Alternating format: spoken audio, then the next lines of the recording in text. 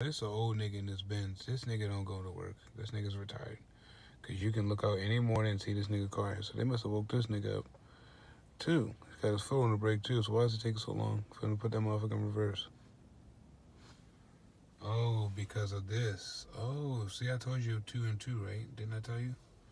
I Already tried to do the two and two. So you see how this nigga was leaving? And watch this nigga try to leave next.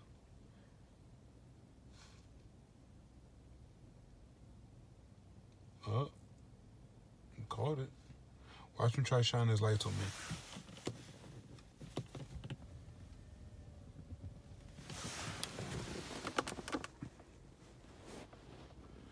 Now this nigga, oh, he went down the wrong way because I said it. Because that, that's what I said. The nigga normally goes down the wrong way anyway. Nigga don't follow no law. The nigga normally goes down the wrong way regardless. So I was just like, watch this nigga try shine his lights on me. Because you nigga always want to try to shine that lights on you in your car. But he heard me, so he's like, let me not. So you see how they got both of these niggas right here, right? You see this nigga making a U-turn, right? The whole U-turn is to see if he can see me get out my car.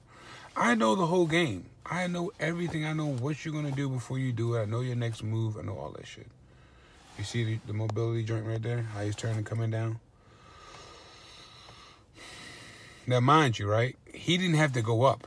He could. There's a light right here. He could have went straight.